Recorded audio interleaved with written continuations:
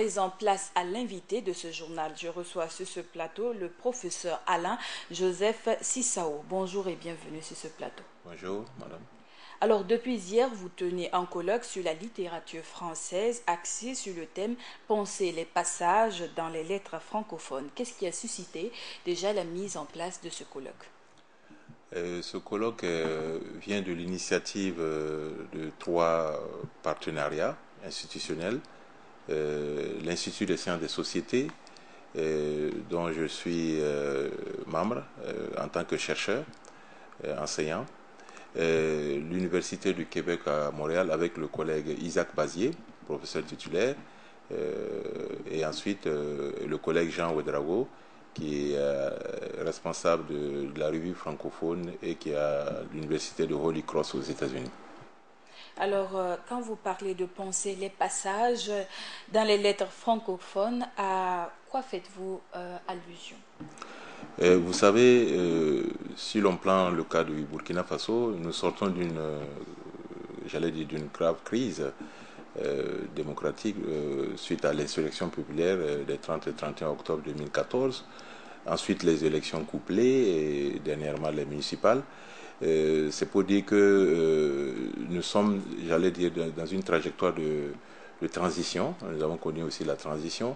Alors, tout ça euh, doit appeler en quelque sorte à une forme de, dire, de réflexion pour voir dans quelle mesure euh, ces, moments de transition euh, que nous avons traversés peuvent être des exemples de recherche de, plus de démocratie. Alors donc le, thème du passage dans les littératures francophones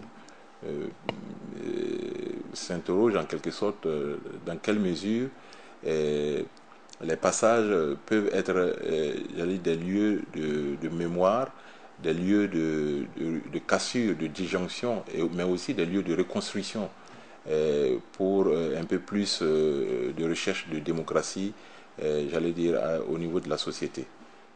Alors, quelles sont les activités phares déjà de ce colloque? Alors, nous avons deux, deux moments forts. Euh, par rapport aux activités de ce colloque. Donc euh, il y a d'abord euh, l'activité scientifique proprement dite qui a commencé depuis hier et qui est articulée autour de, sessions de, de, communication. Mm-hmm. Nous avons au total près de, presque une dizaine de sessions de communication qui sont axées aussi, aussi bien au niveau des, des passages comme enjeu de connotation, de conceptualisation, passage dans la dramaturgie, passage dans la littérature orale, passage comme frontière et transgression.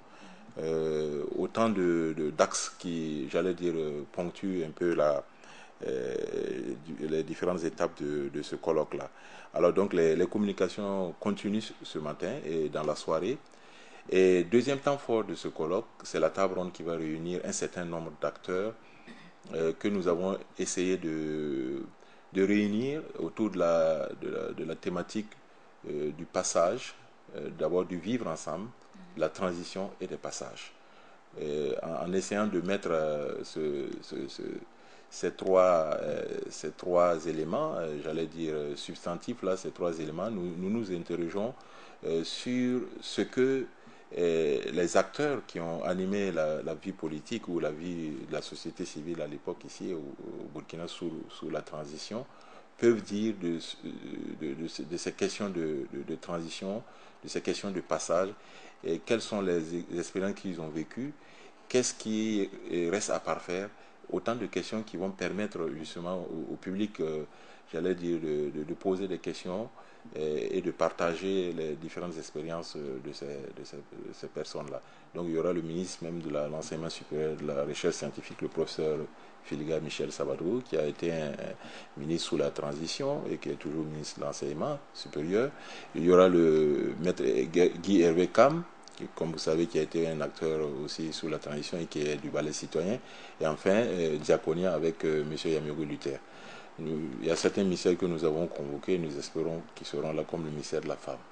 Peut-on s'attendre à une publication des différentes interventions à la fin du colloque Bien sûr. Le, but euh, d'ailleurs, euh, c'est ça, c'est l'animation scientifique qui doit nécessairement déboucher sur la production scientifique, donc euh, les publications. Nous avons prévu à ce niveau deux types de publications. Il y aura une première publication qui sera prise en charge par un des co-organisateurs du colloque, professeur Jean Ouedrago, dans sa revue francophone, Présence francophone, qui est une revue qui est éditée aux États-Unis et qui va euh, publier essentiellement, euh, j'allais dire, les actes du colloque consacrés à la partie littérature burkinabé. Et deuxième, euh, j'allais dire, deuxième volet de publication du colloque, ça sera une publication de tous les actes du colloque cette fois-ci toutes les autres publications qui seront réunies dans, une, dans, un ouvrage collectif qui va paraître euh, et qui sera pris en charge par l'Université de Montréal au, Québec par le collègue Jean-Isaac euh, Bazier. Voilà. Vous avez parlé de publication pour une appropriation du contenu par la population entière. Euh, qu'en est-il de l'insertion des langues nationales? Oui, la, question de l'insertion des langues nationales effectivement, c'est une question d'actualité et que, l'on retrouve, euh, bien sûr, même dans, les différentes productions, euh, j'allais dire, euh, scientifiques, de, façon générale, que ce soit aussi bien, aussi bien au niveau des écrivains que même des critiques qui, justement réfléchissent sur cette question de prise en charge des langues nationales dans la littérature. Et je pense que c'est une, une question qui, qui doit être prise en charge pour permettre un peu plus euh, une certaine, euh, j'allais dire, euh, meilleure connaissance de nos langues nationales et aussi de l'ancrage de ces langues nationales de façon générale dans, dans, dans, la langue française et dans la francophonie. Il a été question d'édition. On remarque que la majorité des écrivains aujourd'hui ont du mal à faire paraître leurs œuvres. Qu'en est-il d'une probable solution? Oui, euh, effectivement, le milieu de l'édition, c'est un milieu, j'allais dire, très difficile.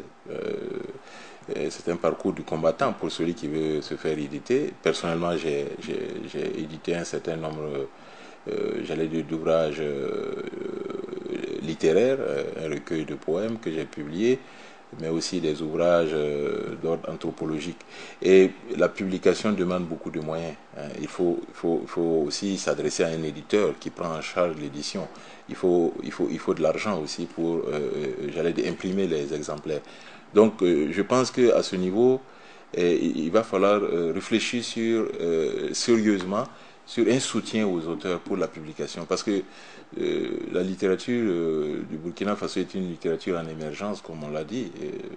Et, si on a besoin que cette littérature soit euh, consolidée, valorisée et aussi connue du, large public à l'extérieur, comme d'autres littératures, cette littérature a besoin d'un coup de pouce. Donc peut-être, pourquoi pas, d'un fonds d'aide à l'édition des œuvres littéraires et aussi des œuvres qui font la promotion de l'insertion des langues africaines dans la littérature.